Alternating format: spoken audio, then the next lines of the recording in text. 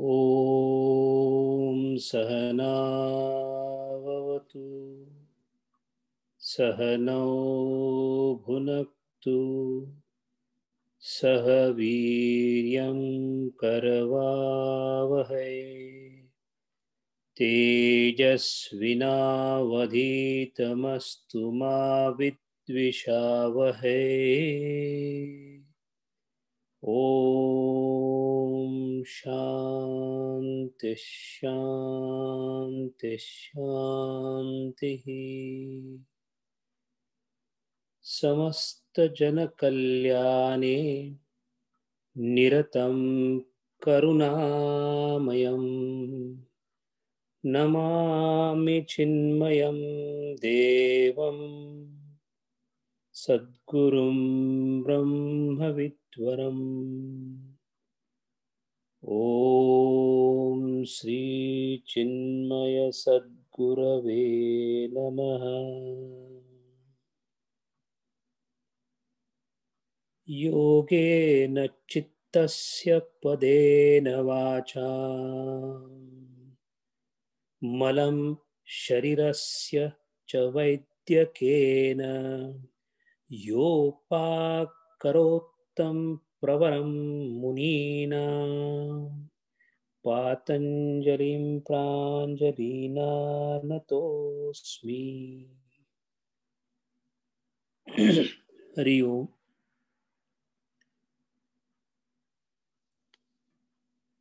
in many discourses of Gurudeva, as well as of the enlightened rishis and munis, we have heard a statement that world is an illusion. It perplexes us that what I live every day, how it can be an illusion. I live or lead a life every day which is so real, which is so authentic to my mind. And how is it that these realized souls are calling it as an illusion? There is a need to think on this particular statement that world is an illusion. because in that statement lies the upcoming sutra of Patanjali Maharaj.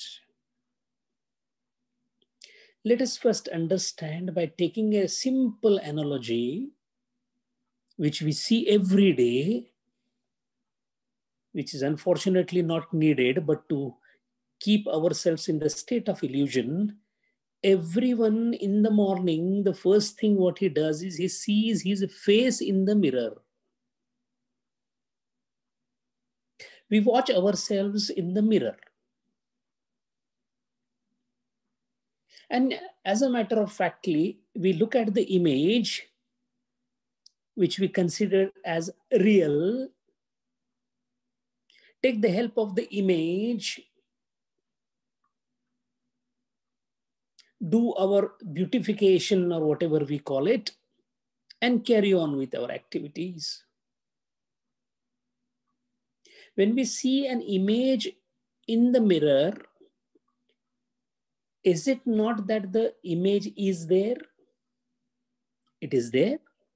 It is very much there. That is why we look into the mirror. At the same time and simultaneously, we are aware that it is an image, not me. The question is, what is that is standing behind in the mirror at an equal distance opposite to the mirror, which I'm seeing as an image which does not exist. So there are a couple of things very clear in our mind that image has no existence, one. Two, still the image is perceived. And three, for the image to be perceived, I need a medium to create the image and an organ to perceive the image. To this extent, there should be absolutely no doubt in the mind. This is because of the reflected rays of light. This is called reflection, reflected rays of light. There's something called angle of incidence, angle of reflection, which is normally the same. That's a physics part of it.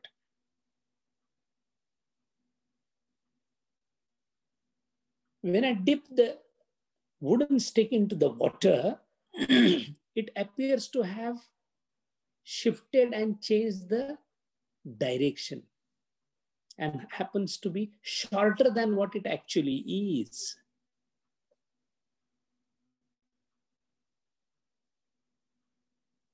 This is refraction. The medium changed from air to water and the image changed. Image changed in its shape. It distorted the original into a distorted image. A mirror gives the same image. Air and water interference gives a distorted image. both are images, both are perceived as real. Simultaneously, we know that both are images and distortions. In the similar manner, everything that we see outside is an image perceived by the mind with the help of an organ, indriya, called chakshu, the eyes.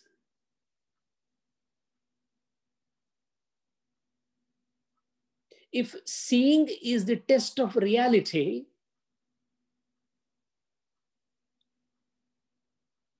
then the image in the mirror should be considered as absolute real, which we don't. We call it an image. Because I'm aware that it is an image, I'm able to differentiate between the image in the mirror and myself.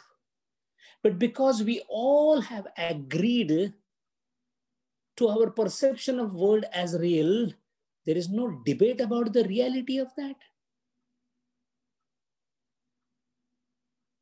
Does that mean that nothing exists in the world? It's all imaginary? No whatever exists there is perceived as the world by us. We are coming to a very subtle difference. Existence of things in the world are not denied at all. What is denied is the existence of the worldly objects creating an impression in the mind through the act of perception that is being denied.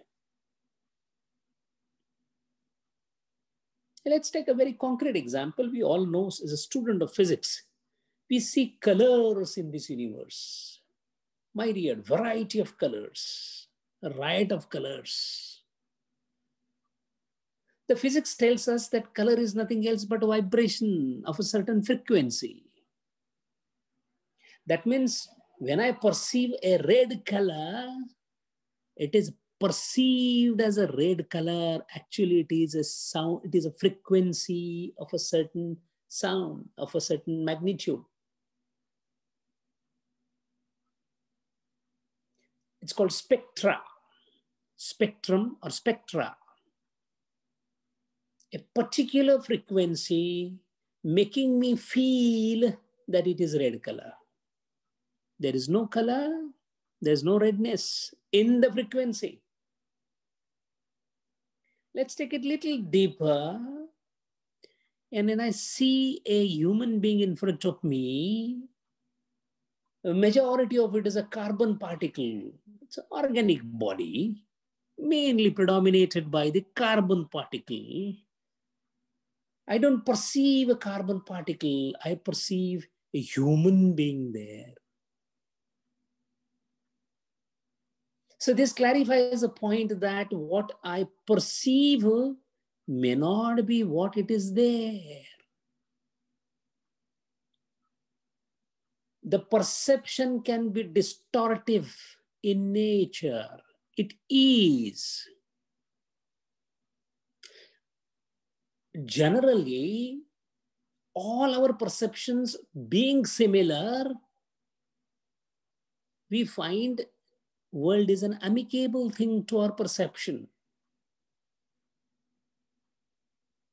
Everybody looks red color as a red color because everyone is perceiving the frequencies as colors. We all agree to the existence of a color which actually is not there. A pure physicist will look at a color as a frequency, but he would be an exception amongst the mankind because majority of the people would call it as a red color. If majority of people agreed on a particular perception does not mean that is the truth. Because majority of people agreed once upon a time that earth is a square and you will fall off if you walk. That doesn't mean earth was square. It was different. It was round or whatever, spherical. Means at an individual level, perception of the things around me may not be the thing in itself.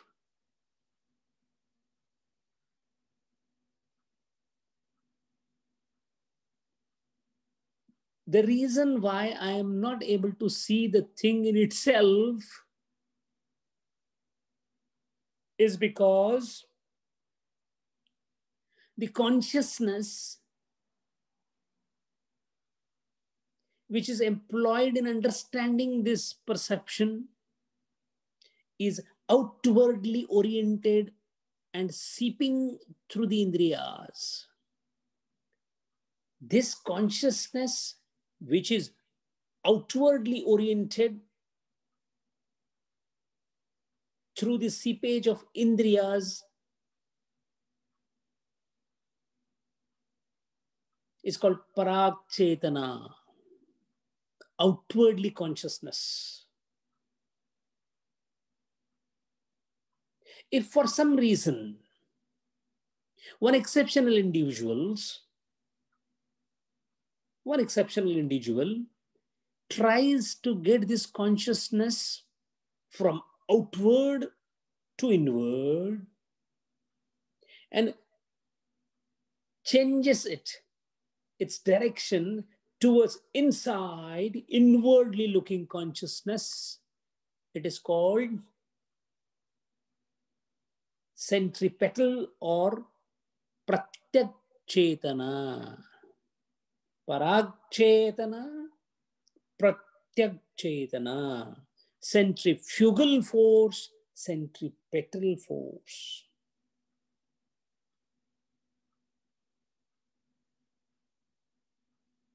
Once the consciousness is directed inwards, the perception changes. We are discussing a very subtle point about how the Jivan Mukta looks towards the world. We are stupidly trying to evaluate Gurudeva as a centrifugal force and then we say, he was such a great man. He was such a nice man.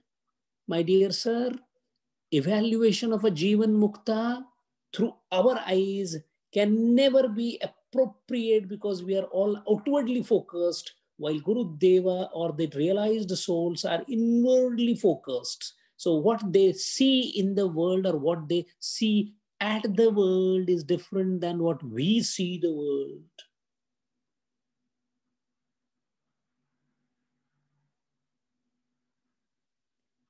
a grown-up teacher in the nursery looks at the small boys and girls who have come in the nursery as small boys. Well, the boys look at the teacher as, wow, my teacher is so beautiful, tall, knowledgeable, this, that, everything. That's children's, child's perception. So we have never seen the world the way it is till now. We have had a distorted, illusory version of the world so far. It may be shocking to know, but it is a reality that we have perceived this world as illusion. And this illusory world, humongous amount of fights are on. For a central, for the inwardly oriented consciousness of a realized soul, when he looks at these fights, he laughs couple of children keep fighting about the pebbles and the colored glasses. For the adult, it is a child's play. So people of Gurudeva's stature with consciousness constantly inward oriented and stabilized sthiratvam, they look at the world and the constituents and the people like us as illusory world residents squabbling with each other and with oneself for the sake of illusory desires because illusory objects cannot have real desire. Utopian city and utopian objects Mind well, we have not denied the existence of things outside. We are denying the perception of the existence of the things outside. So when the consciousness is inwardly oriented, or if it is in the form of pratyak chetana, then the perception of the world in the real sense comes to them the real picture of the world is thrown open in front of them.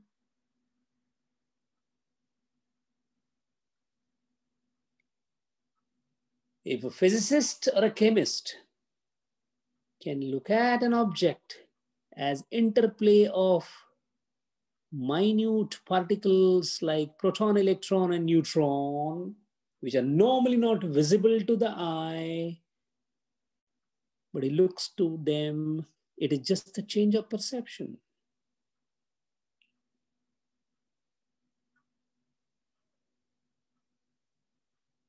A face, when it is being operated by a plastic surgeon, his perception of the face is a connective tissue that is being operated upon. Because his perception at that point of time is it is a tissue to be operated upon. While for a lady, it is a face of beauty. What changed is the perception. The face per se is as it is. So it is the perception with the help of indriyas being interpreted by the mind that creates a illusory world which does not exist. That is why it is called mithya. Mithya meaning not untrue. Mithya is not false. It is distorted. Myth. The word myth has come from mithya. What it means is it shall continue to be real as long as it has not been sublated by inwardly looking consciousness. So the world did exist the way it exists for us, even for Gurudeva, before the realization.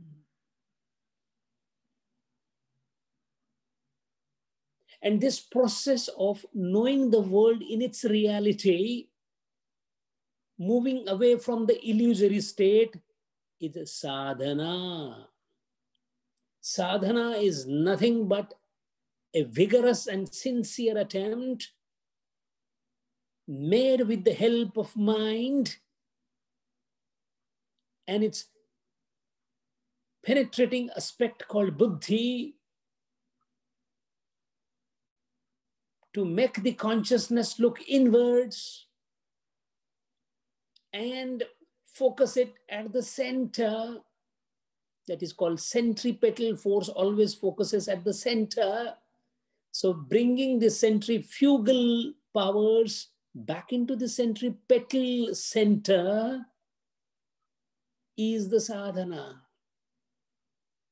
And the key to this sadhana is look inwards and concentrate. Presently, we are looking outwards and scattered. Mind well, the scattering that we have in the present world, which is on the outside things, in the outside world itself, the an attempt should be made to stop the scattering.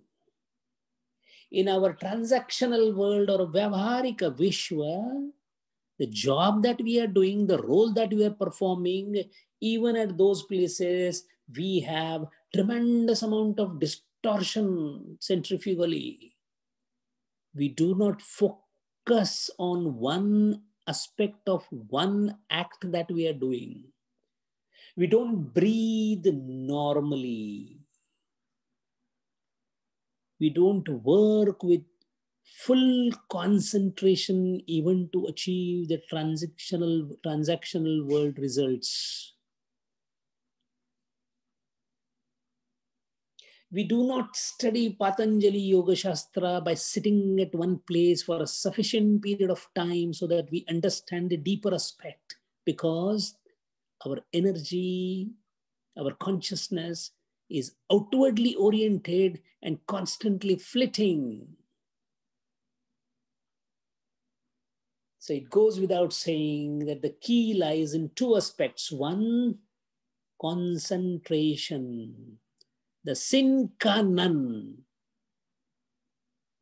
the prominent word in the art of sadhana is concentration, ekagrata. If you are listening to something, ekagrata of the ears to the words that are coming inside. Nothing should disturb except what you are focused on. Not only that, even the act of eating food requires immense concentration for the act to be complete. Observe the mind while doing any of the mundane activities. You will observe that it is never in the act that you are doing. That is called a zero concentration. We do things habitually. We wear our trousers in the morning. We do not concentrate. We just do it habitually Similarly, we drive habitually. That's how we are never aware of the steering wheel because we ever look, never looked at it. Mechanically, we have been working.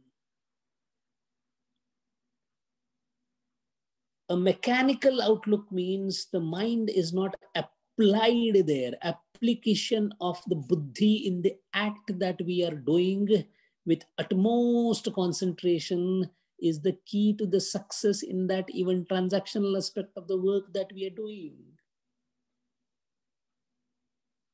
We don't read with concentration, we don't see with concentration, we don't enjoy with the concentration. Because of umpteen number of births and the practices that we have followed, the flitting nature of consciousness has become our nature. That needs to be hammered and changed slowly, step by step, through what is called as abhyasa. So concentration is abhyasam. Failing and repeating it again, failing and repeating again is abhyasam.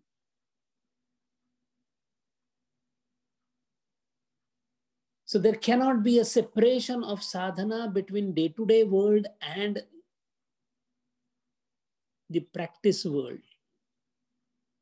we are trying to stupidly and foolishly separate sadhana between vyavaharik and adhyatmic sphere.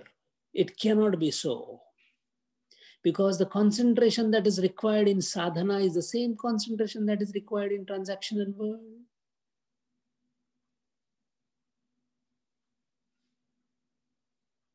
If I'm able to have a very steady and calm mind in my day to day activities, it is the same act of steady and calm mind that I'm going to use when I'm going to sit for meditation. Meditation is a state, and a state is available and should be available at all the places for all the times. there is an inherent hurry inbuilt in our actions, which abridges the required extent of the work, is thwarted by that hurry. And Ashanta mind causes that hurry. Prashanta mind does not have the hurry yet it does everything on time. Gurudeva is a live lab, laboratory, attended enormous amount of satsangas with alarming punctuality without any commotion in the mind because full concentration in whatever he was doing. Mahatma Gandhi is an ideal example to be observed when it comes to the ekagrata. Irrespective of the task that is undertaken, whether it was writing a letter to the Lieutenant Governor General or if it is an act of tending to the goat, at both the places he had similar and enormous amount of concentration in the act that he was doing. Mind well, ekagrata presupposes one act, one object, one mind, one organ at a time. So that means doing one thing at a time is concentration. multitasking is stupidity. Unitasking is concentration. Work has to be done sequentially, not parallelly.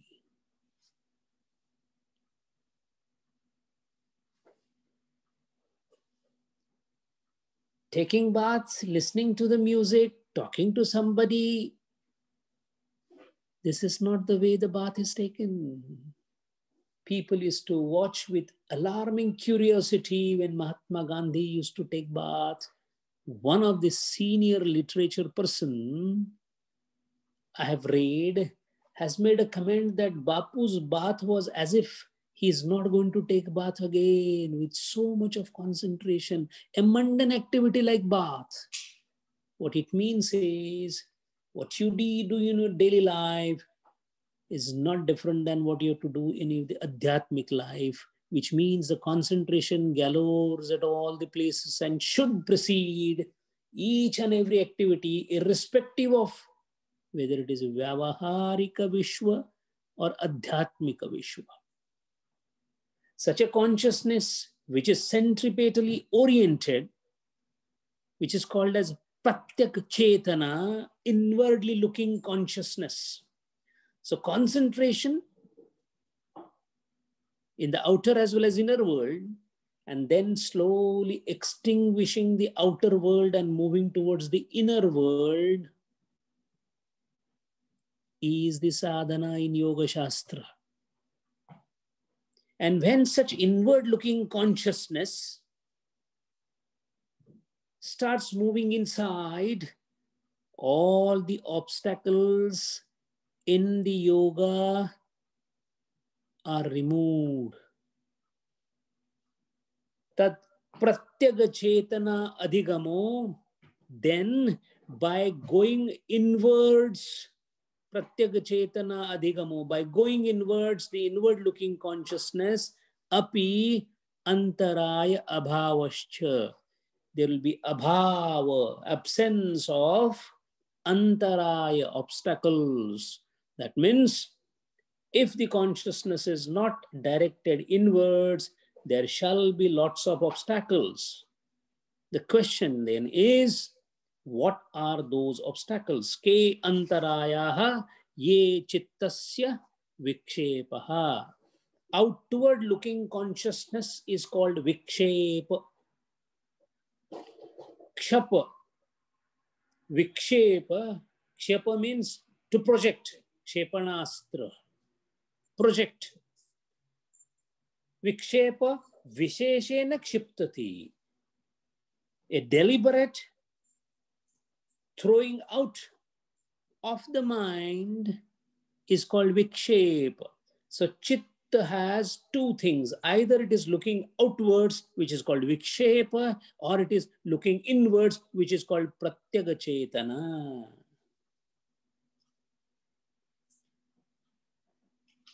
The one which is looking inwards called Pratyaga Chetana is now directed in opposite direction, inside, because that is where a curtain called Ajnanam is there to be penetrated.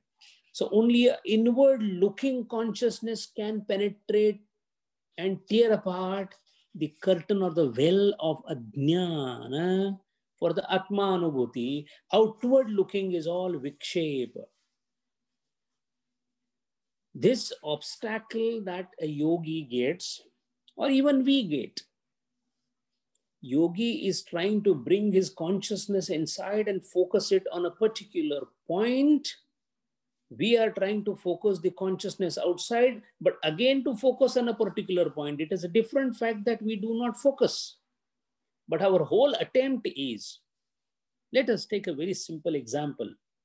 I want to make money even on this materialistic ambition, we do not have sufficient focus. Those who have sufficient focus, they become billionaires. The result is they become billionaires, but the act is because of the focus and the concentration. A scientist becomes a Nobel laureate because he keeps on studying abhyasam with full focus on the subject that he has undertaken till the point he discovers something and gets a Nobel Prize for it. Why all are not Nobel laureates? Why everybody is not having the same kind of result? That is because he lacks the concentration. So even in the outer world, there are only two types of people, one who focus or concentrate and those who don't those who concentrate fully at 100% strength become the successful people, whether it is a successful politician or a successful research scientist or a successful actor.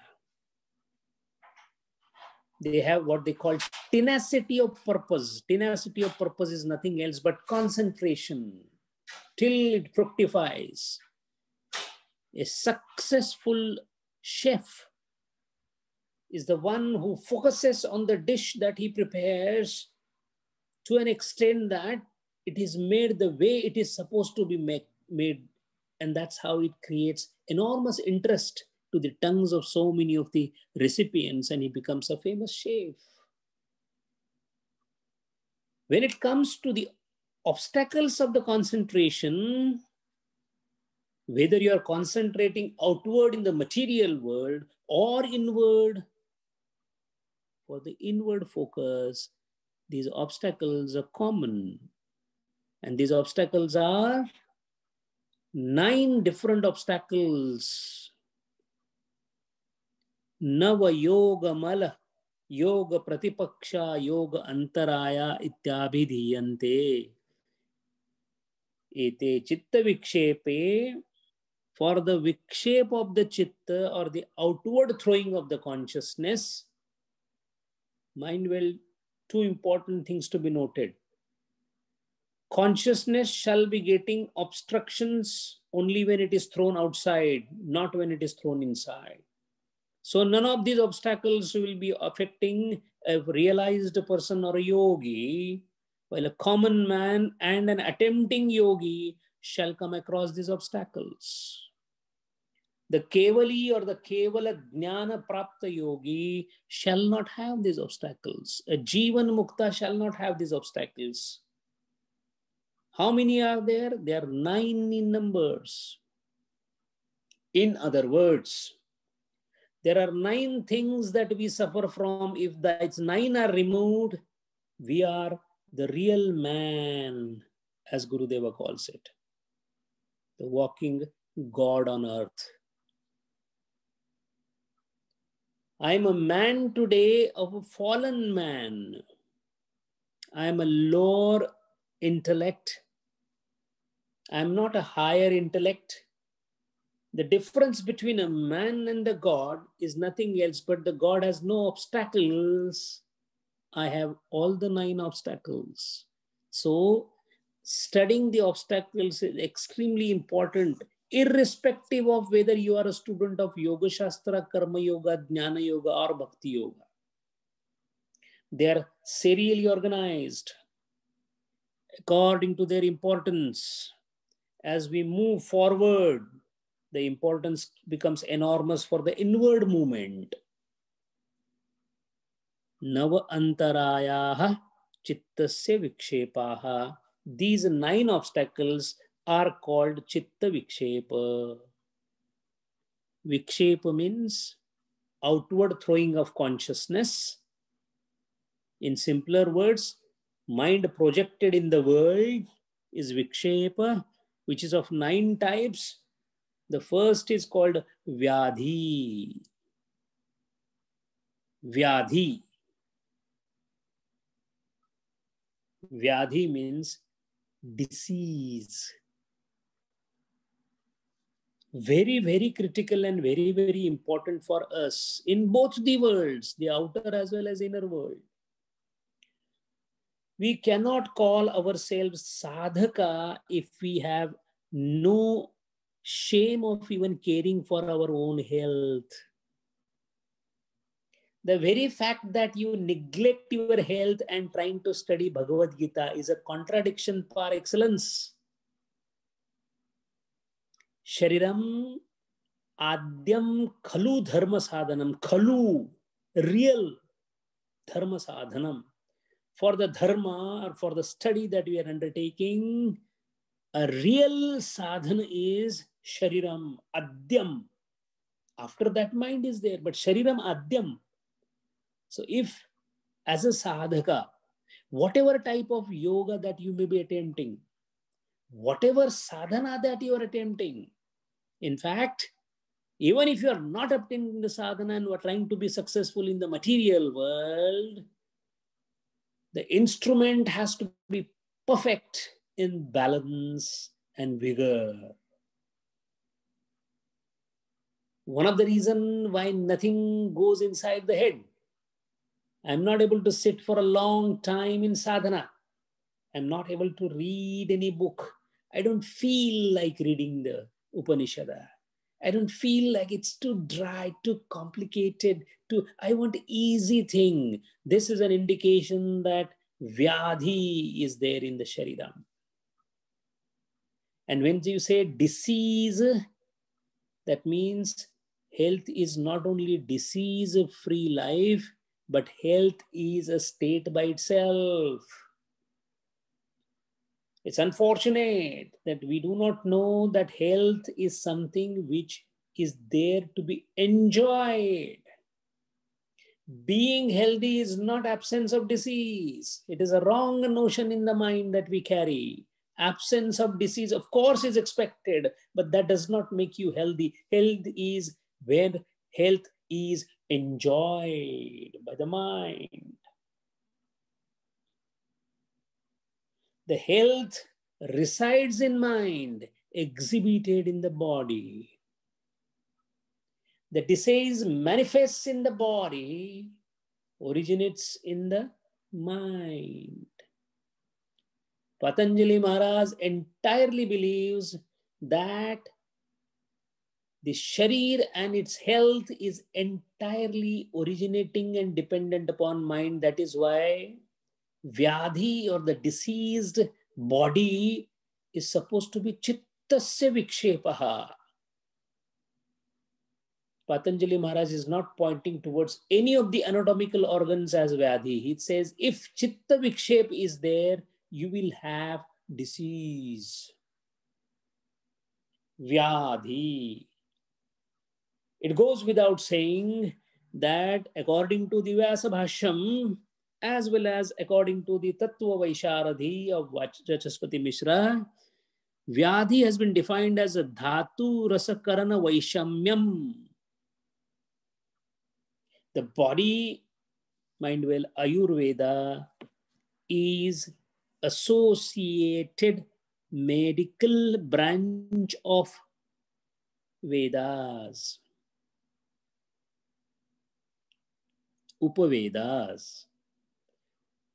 And it draws its inspiration from Sankhya philosophy. That is why, along with Sattva Rajatama, the Tridosha theory of Vata Pitta Kapha, which is called as a Shakti Rupa Dravya. Mind well, the basic concept of Ayurveda is there is nothing in this world existing except Shakti or Urja. Shakti manifests in different forms. The energy that is existing in this world of creation, the whole world is created in two parts. One is matter, another is energy. It sounds like a new discovery of Einstein, but the Upanishads declared it first as prana and rai. Rai and prana, matter and the energy. So the prana is not breath. Read Swami Vivekananda's Yoga Sutra. In the next sutras, he's going to talk about it. Prana is not breath. Prana rides the breath. Prana is everywhere. In fact, there is nothing in this universe except prana, energy, and matter. The matter is energized. The body that is made up of matter is energized by the prana, which comes inside this matter through the breath, the shwasa. So shwasa is the horse, the carrier for the pranas. Once they come inside, they take charge of the entire body in the form of pancha pranas and pancha upapranas. Prana, vyana, samana, udana, apana. At different places, they act. The nature is same. Functionally, they are different, so different names and different functions for them. Through this, they take the help of consumed food. And the consumed food creates what is called as Shakti Yukta Dravya. Shakti Yukta means the food that is consumed is combined with the prana. The modern science calls it oxygenation. And this prana, along with the consumed food, create what is called as tissues. The muscle tissue, the bone tissue, etc. The tissues are called as Ashtadhatu. Rasa, Rakta, Mamsa, Meda, Asti, Majja, Shukra, and Mahadhatu called Ojasa. The Ojasa can be very loosely and correctly defined as immunity. Ojasa is immunity. A yogi has a very high ojas in his body, so he never falls sick and he is lustrous. Swami Vivekananda had golden hue on the body, a very attractive face like Gurudeva. We don't call Gurudeva beautiful the way we call a lady or a human being beautiful. No, he was attractive. Krishna. The one who attracts is Krishna. That is because of the ojas, the Shakti Yukta Dravya. So Vyadhi has been defined as Vyadhi Dhatu Rasakarana Vaishamyam. Imbalance of Ashtadhatu, which we just now described, or Shadarasa. Shadarasa, Madhur Amla Lavana Katu, Tikta Kashaya. The sweet, the sour, the salt, the pungent, the bitter and the astringent. These are shadarasas. Shadarasa and ashtadhatu. So we consume shadarasas, ashtadhatus are produced and they are energized by the prana. If shadrasas are correctly, properly, and in proper quantities consumed, consumed from the original source, for example, amla, a sour thing. We have amalaka fruit. It is called amlaka because of amla. So whatever amla rasa we require should be coming from amalaka fruit. Unfortunately, some stupid guy sitting in a restaurant takes this amalakam, makes something out of it by putting a lot of other things into it, and because it entertains the tongue, we eat it. That is, and there and there itself, the purpose of the diet is defeated. When we say Shuddha Sattvika Ahara, it should be as much as possible in the original form. One of the reasons why most of the rishis and munis, before the state of realization, depended on sattvika, ahara, meat, limited ahara.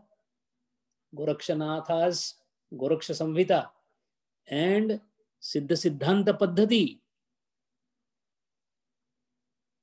Swami Swatmaram, Hatha Yoga, enormous focus is there on the diet. One of the primary requirement of the diet is not to have vyadhi. And one of the primary requirement is it should be from the nature as much possible from the nature. The fruit comes from the nature. Concoctions, recipes made by the man. The one who handles the food transfers his state in the food. That is what is not written anywhere, but we have to believe in Agam or Shabda Pramana. And Shabda Pramana is Ramakrishna Paramahamsa. Purer the body, purer the food required. In a black, in, on a black cloth, a blot is not seen. On a clean white cloth, even a small dot can be seen. So purer the body, more you'll be affected by the food. So all these sadhakas, they get immediately affected by the food because if the chitta is more pure, a slight deviation in the food matters. So a yogi or a sadhak has to be very careful about what he eats. Why? Because he has to keep this instrument in the best and the utmost condition whatever prarabdha has in terms of jati and ayu, let it come. But till then, till the time of death has come, the body cannot be subjected to any disease because that is a deviation. Since the diet is taken in the required form as meant for that particular yoni, we do not find animals getting sick because they have not changed the diet.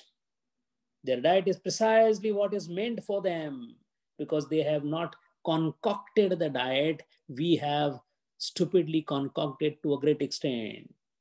So a yogi cannot happen to have food from adulterated hands, certainly not from the restaurants. We ought to take in mind and give a careful attention to what you eat. In the home, we eat the home food because it is expected to be made with a niswarthi bhavana.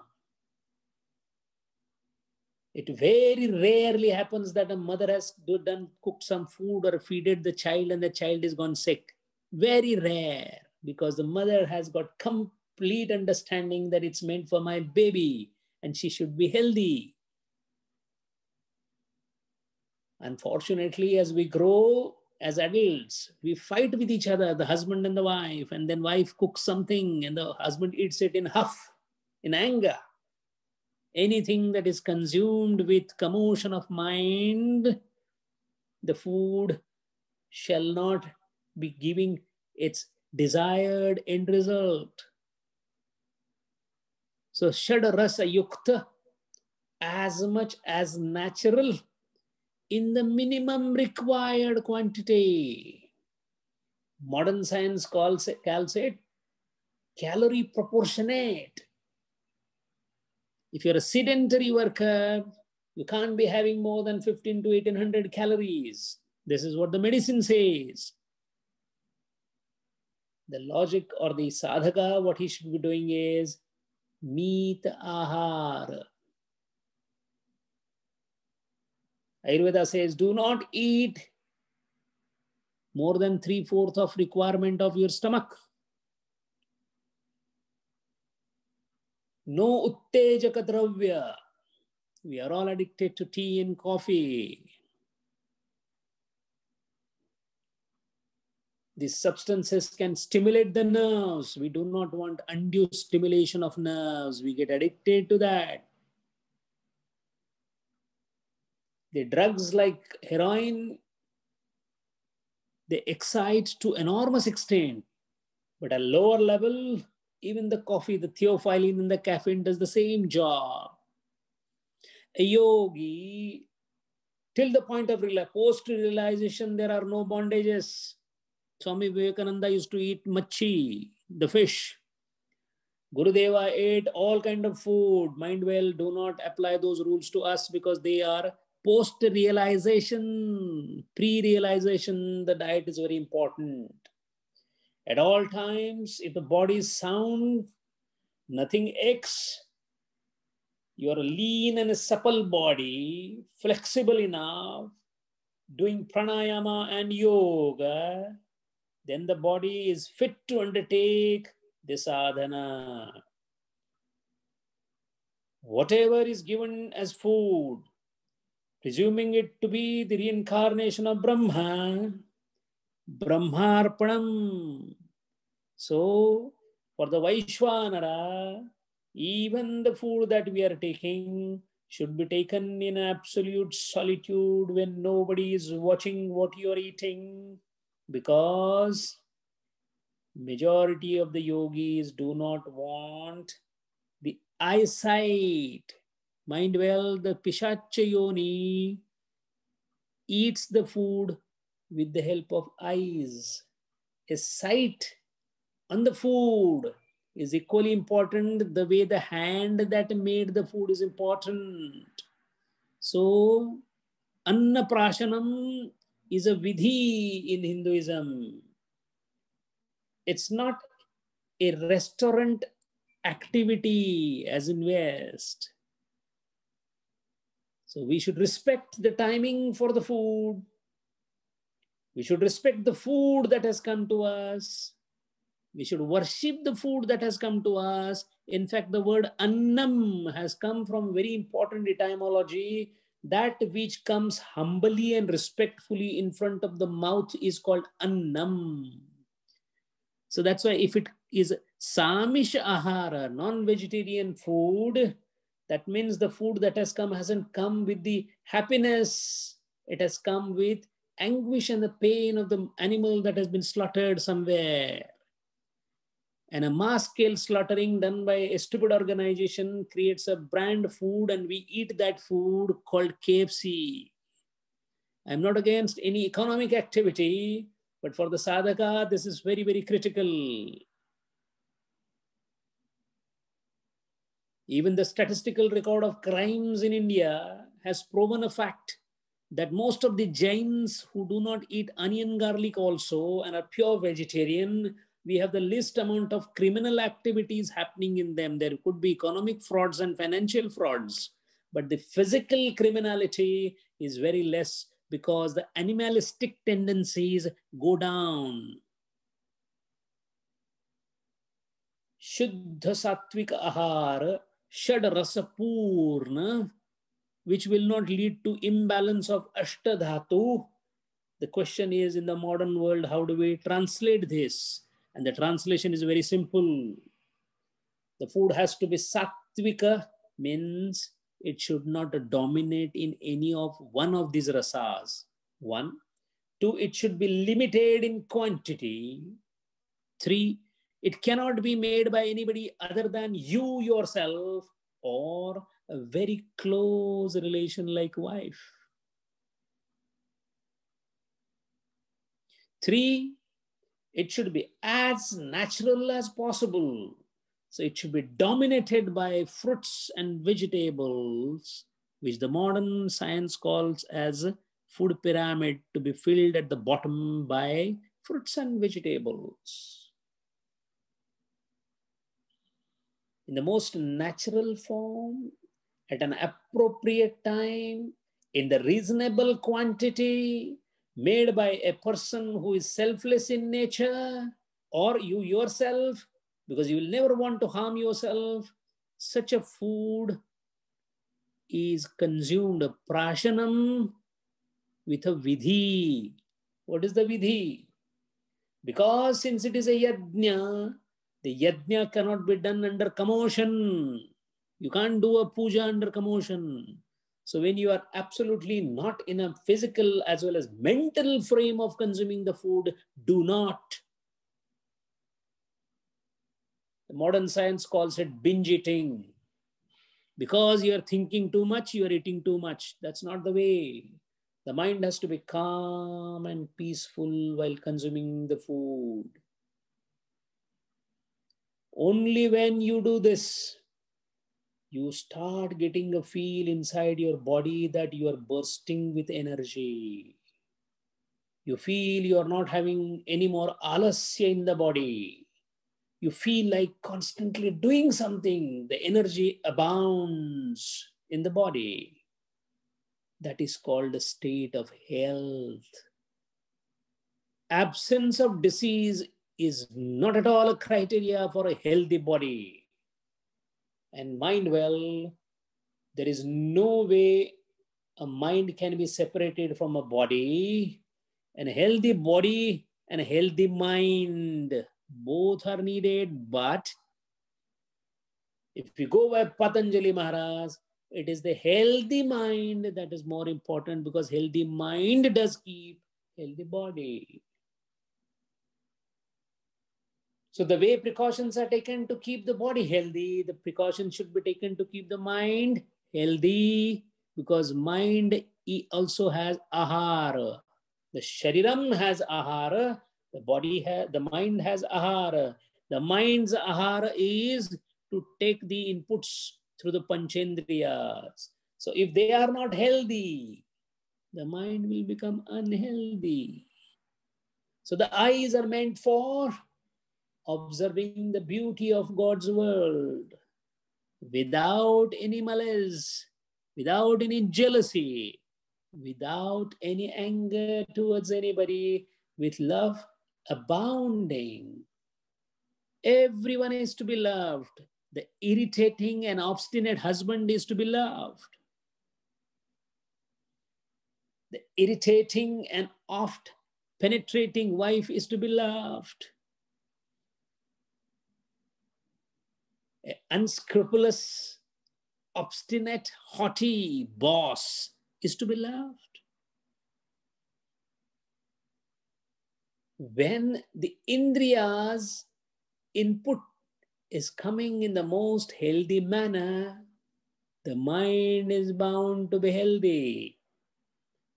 One of the healthy food for the mind is adhyatmam, so Upanishada, Bhagavad Gita, Bhakti Shastra, name of Krishna, name of Gurudeva, name of chanting of Ram Krishna Hari, Hare Ram, Hare Ram, Ram Ram, Hare Hare, Hare Krishna, Hare Krishna, Hare Krishna, Krishna, Hare Hare.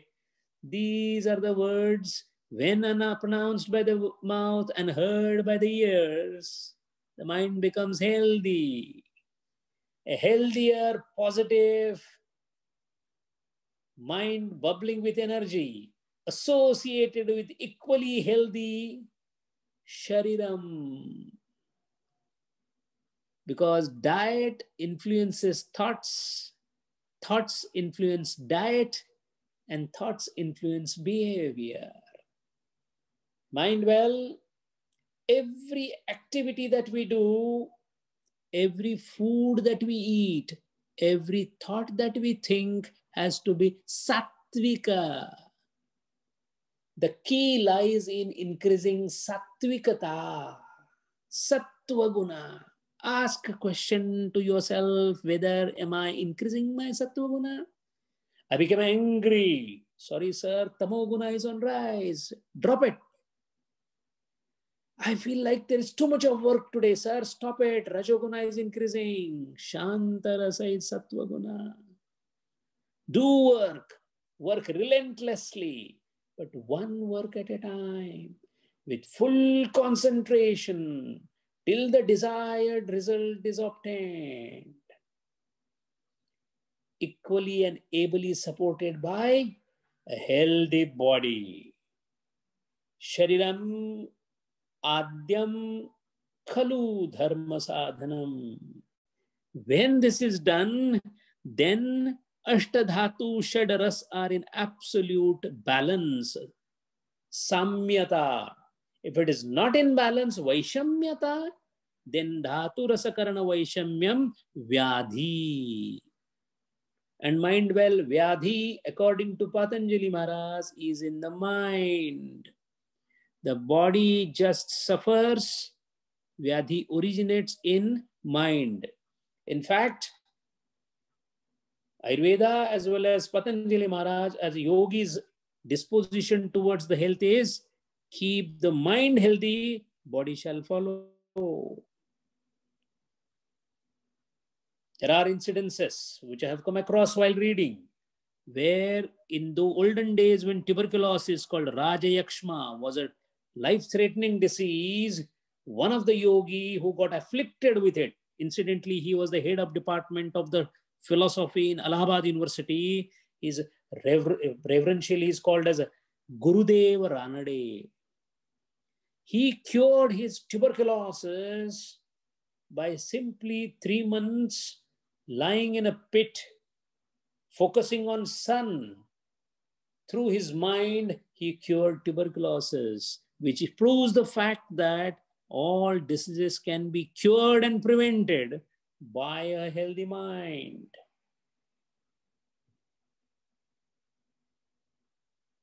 Unfortunately, if the shariram gets the vyadhi, manam can be used to cure that vyadhi. But if the manam gets the vyadhi, it is very difficult to cure the ever rising percentage of depressions in the world, which was a disease of the West so far, which is predominating now India.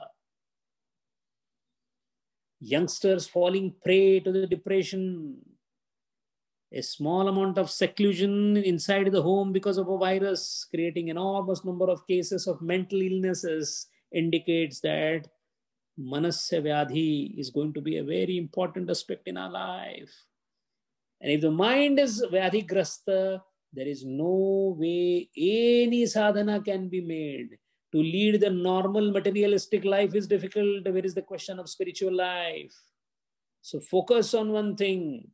The way of keeping mind vyadhi mukta is to have the mind which does not carry garbage and dust inside it. And the garbage is envy, jealousy, anger, prejudice. How long you're going to carry in your mind the impression that my husband is a bad person, my wife is a bad person. How long you're going to carry the thing in mind that the world has not been good to me. How long you're going to carry the impression that you know I have been always sidelined. Nobody is sidelining you, nobody is troubling you. It is your own creation, either created in the past by the actions. Even amidst the turbulent flow of water in the river, you can still be calm. In fact, that is the sadhana. Make the mind healthy, make the shariram healthy. Be careful about the inputs that are coming to both of them. The input for the body is shwas and ahar. Input for the mind is the, the perceptions or the stimuli coming from the sense organs. Just be careful. Do not let anyone enter inside unless verified and checked for the credentials. Before lifting up that particular glass of alcohol, ask a question Why am I doing it? How long am I going to cheat myself that I'm enjoying the weekends with the friends? It is called swapratarana, self cheating.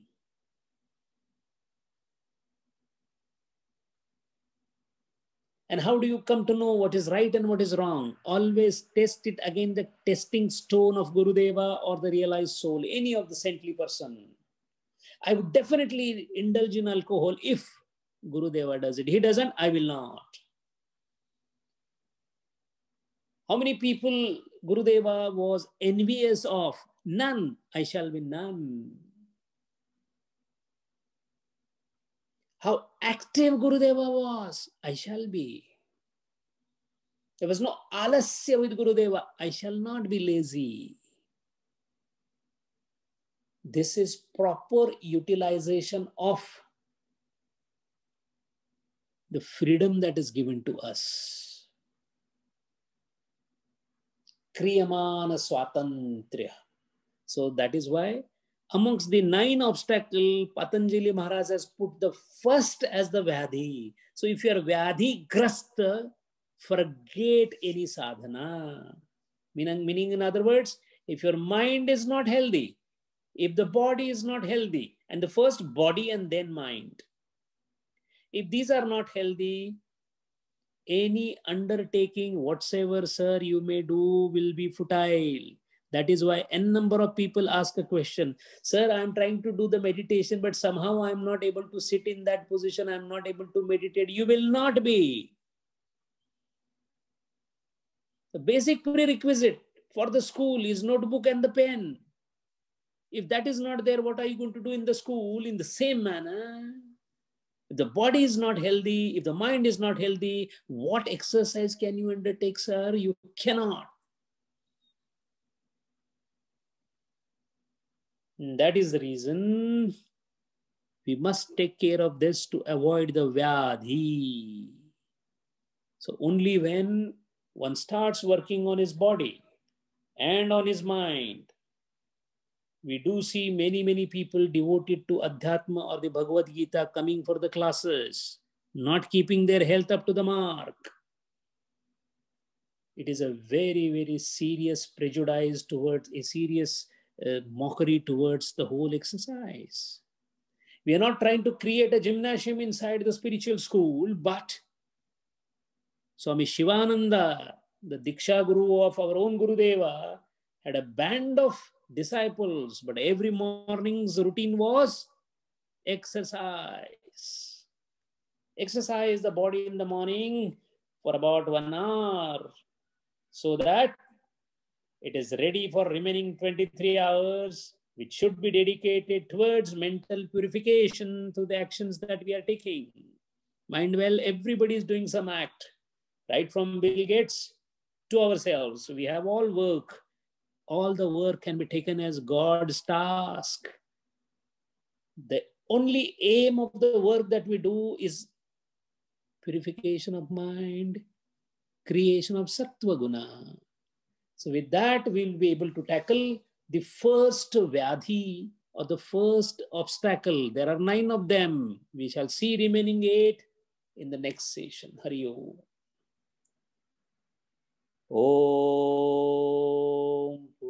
पूर्णादः पूर्णमिदं पूर्णात् पूर्णमुदच्छते पूर्णस्य पूर्णमादाय पूर्णमेवावशिष्यते।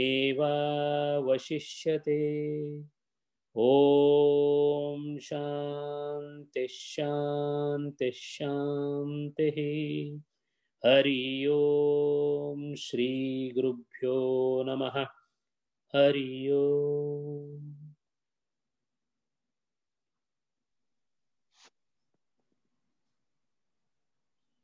Hari Om Sanjay ji. We'll just give a minute in case any sadhak has any question. Hari Om Sanjay ji. Hari Uh, uh, today we have uh, concentrated on uh, Vyathi only out of uh, nine obstacles. And uh, you have, uh, what, I, uh, what, what, what confused me is that we are uh, habitually, I mean, you have mentioned about the Ekagrata. In that, uh, normally, I mean, habitually, we are uh, trained or uh, trained to do multitasking. I mean, even if you take uh, your own children, also you are also molding them to do multitasking. Now, uh, if you are, if uh, one is uh, following this uh, Patanjali's uh, this thing Ekagrata, then they won't be able to live up to the expectation now that today's world, right? Can you can you give me an example of a multitasking? Multitasking, uh, there are many. I mean, I can, I can. I Any mean, one example. Any one example. Now, if you if you are uh, going to kitchen and uh, making something, simultaneously you are doing listening, simultaneously you are watching WhatsApp. All those things are happening. Yes. I mean, while driving also, you are some message comes, your attention is going to that. So Yes. you're thinking on that. You are, I mean, the signal thing is mechanical. See, the thing is, when we say multitasking, we need to understand the difference between habituated thing and multitasking. When you drive to the office, the gears and the steering and everything is habituated. So, what Yes. happens is that being an act of habituation, it happens mechanically because we are no more interested in focusing in them because they are mechanical acts and there is nothing else expected from them once these mechanical acts are happening, habituated acts are happening, the main course of action that you are doing needs to be focused upon. For example, when you are in the kitchen, even if you are not attending to WhatsApp or any other thing, are you not walking? Uh, is not the lady walking from this place to that place, taking that container? But all these are habituated things. Her focus is in in proper quantities of condiments that are taken, the dish that is the flame, then that so what is happening there? All that constitutes one action.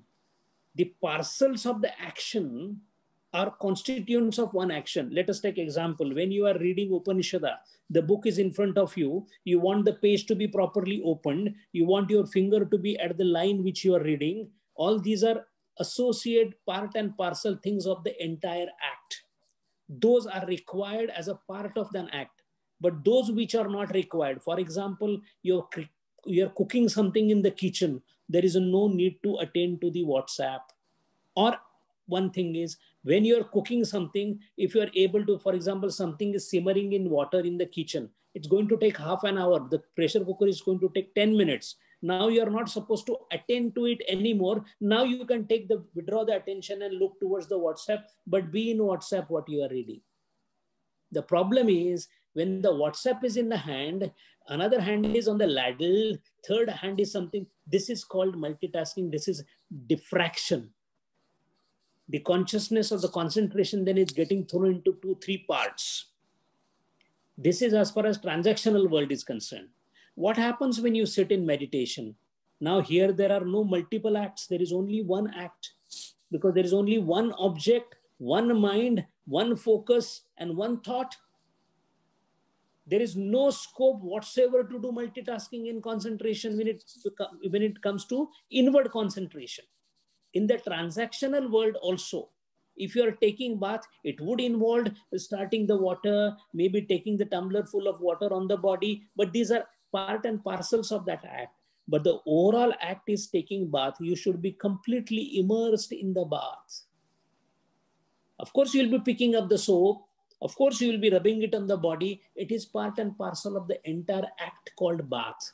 Those are not multitasking. But while taking the bath, my ears are also listening to some music that is happening there. This is called multitasking, which is not required because it will divide the attention between bath and the auditory stimuli.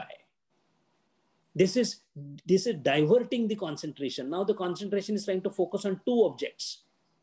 And whole idea is if the concentration is focused on one object, then the object fructifies.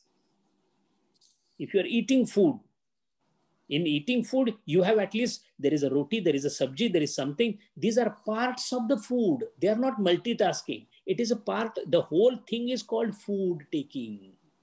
So that's not multitasking. You may say, oh, they have also given chapati. No, that's a part. But while eating the food, I'm watching the television. The visual stimuli are taking something else as input. The oral stimuli, the tongue is taking some other input. There will be diffraction. And let me take you to a further theory. The person who, Dr. Luke, who got the Nobel Prize, in our own body, there is something called gate control theory. Supposing you got a pinch on your thigh and simultaneously you had an ant bite on your other thigh, what will happen to the pain? You'll be surprised the pain gets divided. The pain from the pinch and simultaneously the pain from the ant bite on the other thigh, they get 50-50% attention. That is why you always observe whenever you hit your leg or the shin to some solid object, it pains. At that point of time, you try to pinch at some other place, your pain will come go down. Observe yourself. That is called gate control theory because mind cannot concentrate on one point. Now the concentration taken by two points. I am going to die. This feeling takes the complete concentration of a person who meets with an accident. So only when he come, becomes conscious and comes to know that he's still alive, then he starts getting pain for the fracture, not at the time when the accident happens. I have seen it as a doctor closely. What it means is concentration gets divided into the number of attempts you do. That is why multitasking leads to an habituated uh, division of concentration, while tasking makes you habituated to concentration. So do all your daily transactional activities with full concentration. It helps enormously when you go inside. Although outside concentration is 1% compared to the concentration that is required inside. Hari Om. Hari Om. Uh, Sanjay ji, uh, you know, you were talking of Ojas. Uh, yes. Now, uh, Ojas is referred in many, uh, you know, yogic texts and, uh, you know, people do Khechari Mudra to Ojas fall. And before that, you talked about, um, you know, the intermingling of the, uh, the, you know, you mentioned Shwas, Shadrasa, and uh, also how it is formed. Can you just explain that once again with the dhatus? Yes the, the inputs that this body gets are in the form of air through nose. That is basically because the shwas and prashwasa, uh, through that the prana comes inside. Prana means energy. This body is nothing else but matter, rayi. So this rayi requires ahara that comes inside, the shwasa praswas that comes through the nose, ahara in its essence after metabolism, along with the prana, they form the carrier of energy and they spread throughout the body, and that is how we work. Mm-hmm. The energy that comes even to speak is coming because of the prana and the rayi.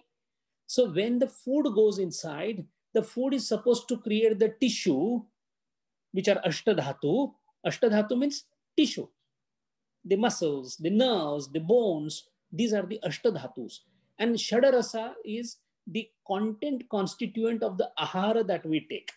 Now, if the ahara is balanced, then the ashtadhatus get the balanced diet that they need for their functioning. So if any of the dhatu is missing from the diet, then the tissues suffer. That is why if supposing somebody takes too much of amlam in his diet, he suffers from pitta dosha because one dominated, other is absent. That is why all the shadarasa, shadarasa yukta it should be. Now, where do you get this shadarasa yukta ahara? Usually the fruits and the vegetables are properly balanced in these shadarasas.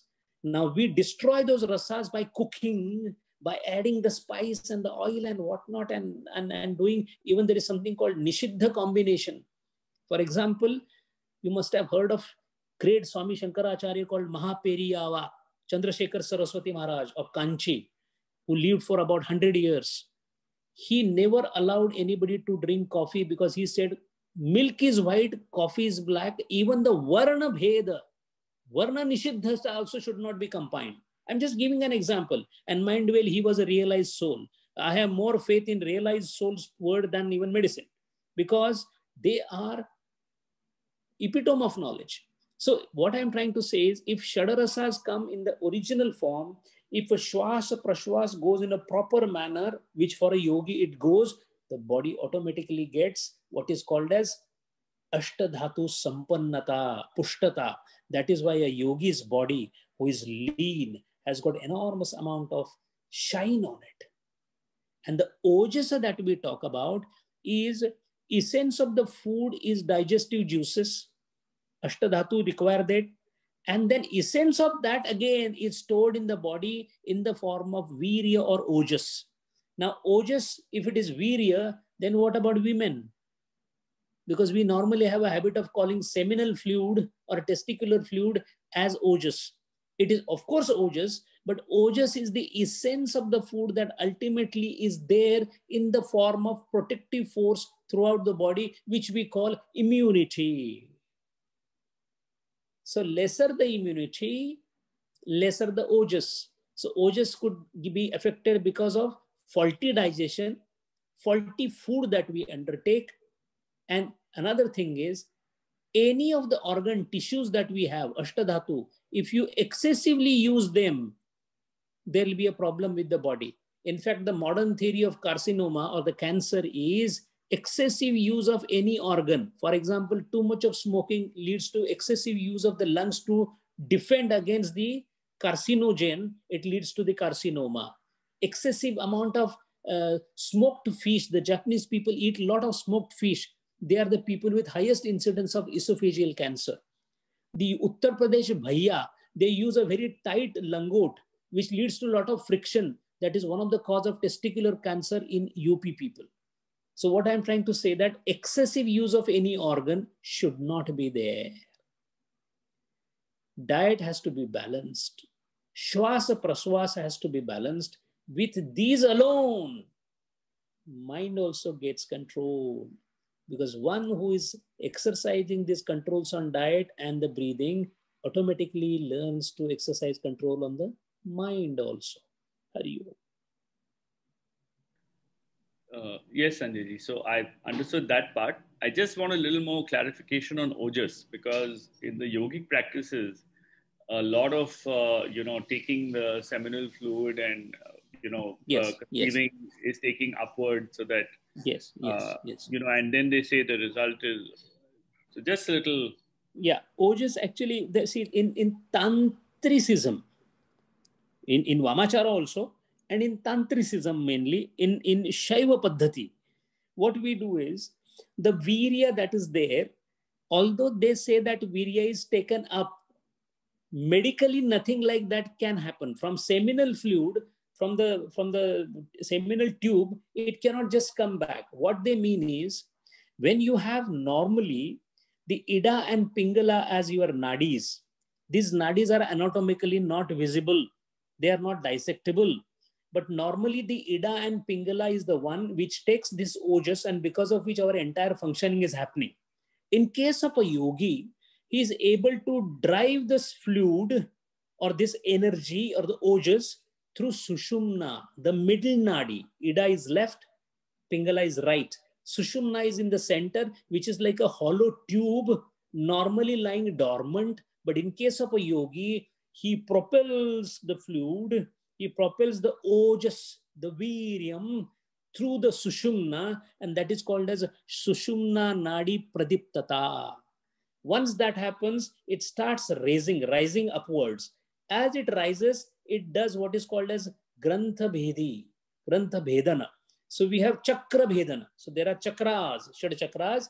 Each chakra gets Bhedanam. And with each chakra Bhedanam, the yogi achieves higher and higher state and higher and higher siddhis. Now, some people describe as ojas are being turned into Sushumna into Kundalini Jagruti. Some people do not talk about Ojas at all. They directly talk about the Nadis.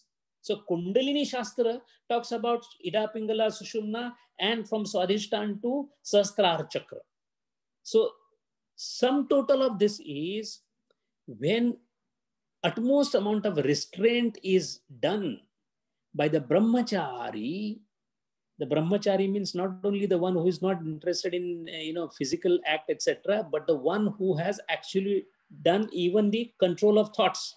In such case the ojas because it is not utilized anywhere in diffracting the energy outside the whole energy starts piling up. And there is an enormous store of energy in the body. That energy is then directed through inward concentration, which in theoretical terms happens to be Jagruti of the Kundalini. And this is not just a theoretical thing, sir. It has been described word by word by Ramakrishna Paramahansa up to the level of Manipur Chakra. People were writing it on a notepad. Ramakrishna was describing, but he could describe only up to Manipur. After that, he went into Samadhi. So nothing beyond Manipur has been described by human Vaikhari Vacha. But Ramakrishna Paramahamsa Maharaj, the Maharaj of par excellence, has been living example of what happens precisely inside the body. Now the question is, why is it the anatomical scientist cannot see this? Because it is not a physical structure. It is something that is seen and felt by the yogi in the higher states. That is why in case of a Khechari mudra, the person doesn't require to eat because a small drop of elixir fluid that goes in Khechari Mudra from through the through the palate, uh, pouring down into the throat is enough to sustain without food for ages. Now, this is something if I, I have dissected myself, the brain and everything as a part of medical student, I did not see anything of that kind because it's not to be seen. It is something that is made available to the yogi with a higher prajna. Hari Om. Could it be perceived as a as a you know is it a purification of energy or is it a purification of the seminal fluid it results in you know i'm just trying to get a finer i mean this what you have described is exactly the way it is in the books. But i mean and we are you know not at that state so we cannot experience it. But uh, is would it be you know is it energy? Is it liquid? Is it what form is it that uh, no, it's very simple. Even if today, if I ask you a question, are you feeling energetic? You say yes. I say, show me your energy. You can't. What it means is, it is the consciousness, the prana is something which cannot be exhibited through the sense organs. But the prana does exist. The prana means energy. Energy does exist because we, this is called as karyanurupa. Karyanurupa means I'm able to move my hand. That means I have energy. So because of this effect that I moved the hand, I know the existence of the prana. But if you ask me, you know, no, first show me the energy and then show the exhibition of energy, I can't do that. Why? Because prana is energy. Energy cannot be perceived by the sense organs, but energy can be perceived through its effects. So similarly, a yogi, when he has done chitta shuddhi and everything and no diffraction of uh, ability to concentrate has been developed, then the mind, because it is not fettering itself, mind well, about 25 to 35% of our energy calories are consumed by brain alone. This is from medicine I'm talking. Why is it that the brain is consuming 35%? It is not walking anywhere. The thoughts consume energy, 35% of the calorie. So if thoughts are consuming the energy, that means the prana when the thoughts are not there too many, what will happen to the energy? It will remain unutilized. It will be accumulated. This accumulated energy is then utilized for the opening of, provided it is directed in that manner through the abhyas of the yoga. So seminal fluid is always pure. There's nothing impure. Even if you take the most dastardly person, the seminal fluid is pure because the fluid has nothing to do with it. Fluid is a vehicle Fluid is a vehicle. Shwasa, air, oxygen is a vehicle. What is sitting on the vehicle is prana. So that is why imperceptible is prana, intangible is prana, tangible is shwasa. But because they are associated, yogis got it right in the beginning that they caught hold of that idea. Oh, if the prana is coming through the breath, concentrate on the breath. Because on this, the prana is focusing. So that is how the prana ayama, pranayama came into the picture. In fact, as we move forward now, Patanjali Yoga Sastra is going to focus on pranayama.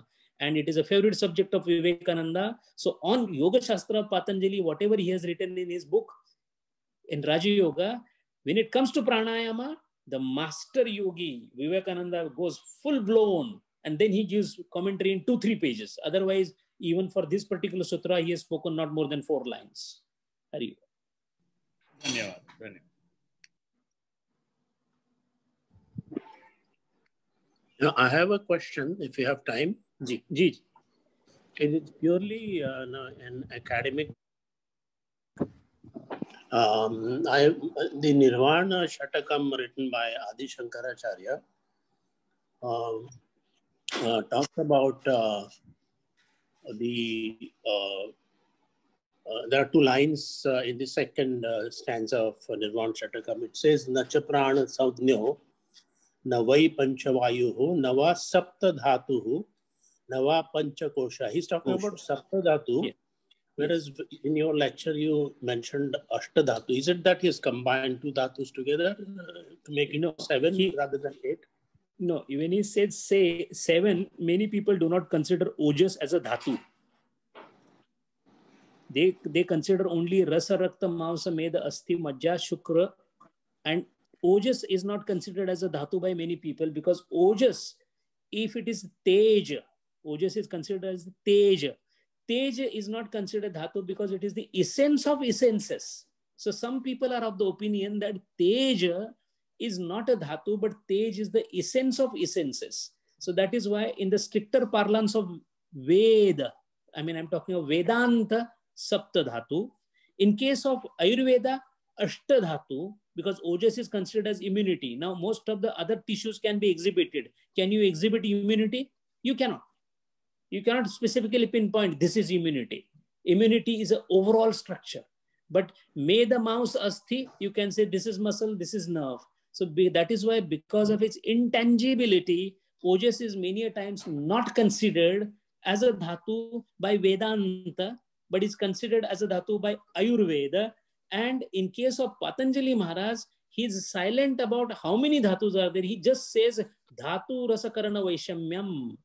That's all. So there is just a technical difference between the two. Hari. Dhanyavad. Hari.